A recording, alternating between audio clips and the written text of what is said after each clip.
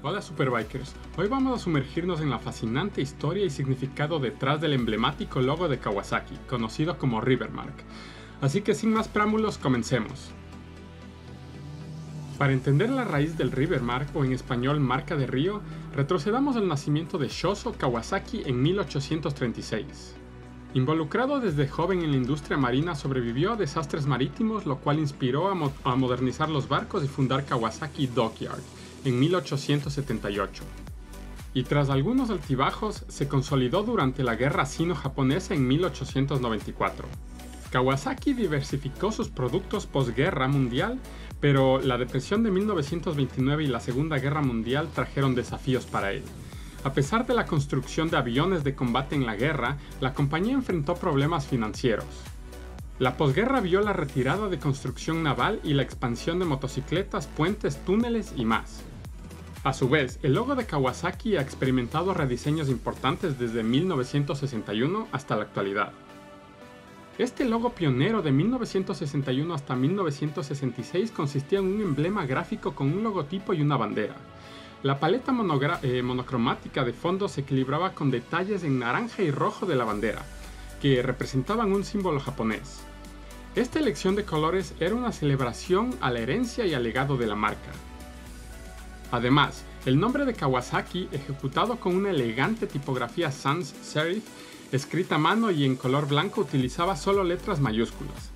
Este texto estaba colocado en la parte superior del emblema, entre las delgadas líneas blancas.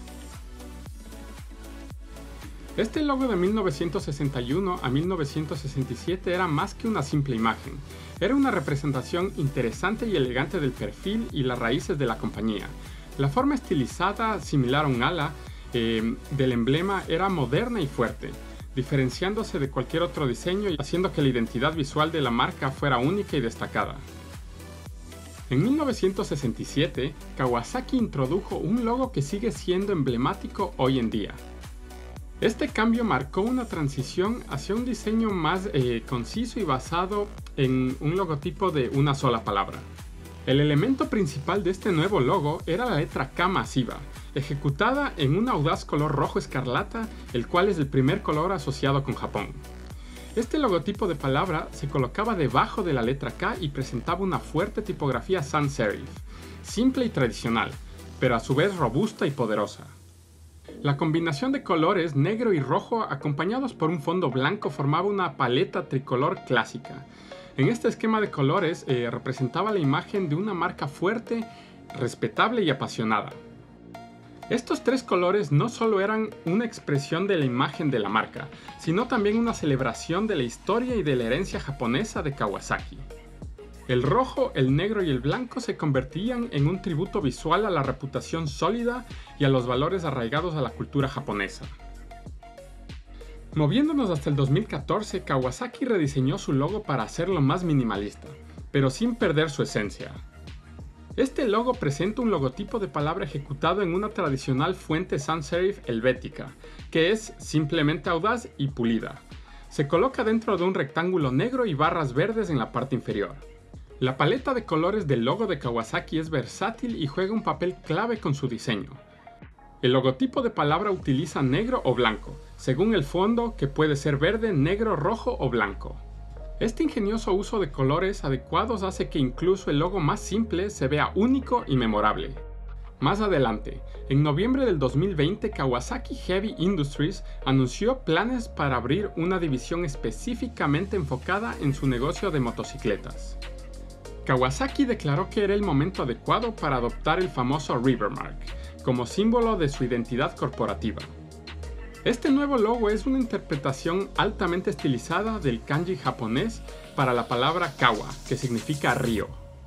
Inicialmente, este distintivo logo adornaba las banderas de los barcos propiedad de Kawasaki Shipyard en el siglo XIX, el precursor de Kawasaki Heavy Industries. Un símbolo que abarca más de 120 años de herencia, representando ingeniería que explora desde el mar, la tierra, el aire e incluso el espacio, y representa un retorno a las raíces de la empresa, reflejando su conexión con la historia y la esencia de Kawasaki Heavy Industries. Más recientemente, el logo ha encontrado su lugar en los proyectos especiales y más representativos de Kawasaki. Orgullosamente, la Rivermark adorna la parte frontal de la ZX10R, siete veces campeona del mundo en World Superbike y también en las supercargadas H2 y H2R, presentadas por primera vez en el 2015. Si bien es un símbolo que se remonta al pasado, su presencia en proyectos de élite actuales demuestra eh, la continuidad y la importancia que Kawasaki otorga a su rica herencia japonesa. Este logo redondo, simple pero efectivo, se convierte en el principal símbolo identificativo para los esfuerzos combinados de las diversas empresas de Kawasaki y sus productos variados. Desde su fundación, Kawasaki siempre ha aspirado a estar a la vanguardia de la tecnología, y por eso han tomado el Rivermark como un símbolo de deseo continuo de Kawasaki de seguir adelante, de llegar aún más alto, esforzándose continuamente por alcanzar y superar los límites. En resumen, Kawasaki, establecida en 1896, se ha convertido en un referente confiable en la industria de las motocicletas. Su logo, el Rivermark, no solo encarna la rica historia de la compañía, sino también su visión hacia el futuro. Y estaremos atentos para ver cómo Kawasaki cumple las altas expectativas que ha establecido para sí mismo. Y aquí termina este recorrido histórico que nos deja en claro el verdadero significado de las aspiraciones y la grandeza detrás del logo Rivermark de Kawasaki. Y si les gustó este video, no olviden darle like, suscribirse y activar las notificaciones para más contenido emocionante sobre motociclismo de velocidad. Nos vemos en el próximo video.